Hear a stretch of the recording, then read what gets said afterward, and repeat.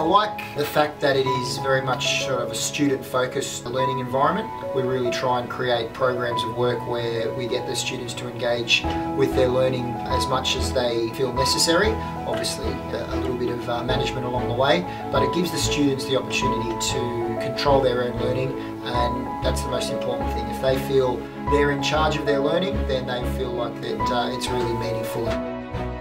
I like how big the classrooms are. There's plenty of ICT and that's fantastic.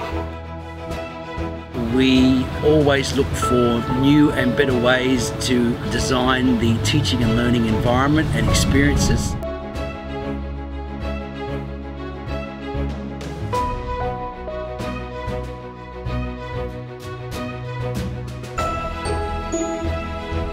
I'd just say the science opportunities here are very vast. There's many experiments that we perform every day and we can broaden the horizons on what we learn.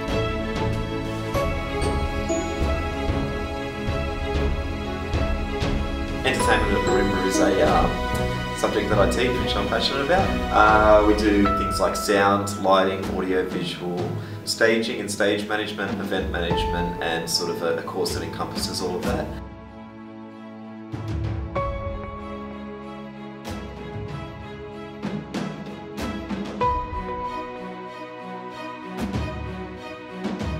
It gives the students an opportunity to have both collaborative experiences with peers and also with their teachers and then some one-on-one -on -one time with both.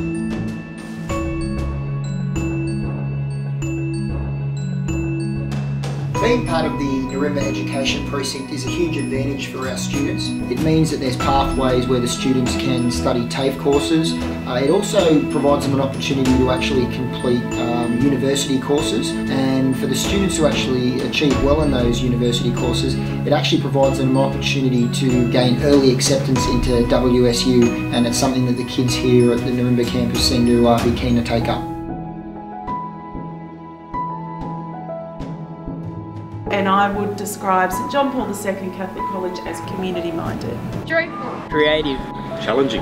Compassionate. Mature. Contemporary. Educational. Diversity. Ever-changing. Communication. Determination. Innovative. Friendly. Opportunities.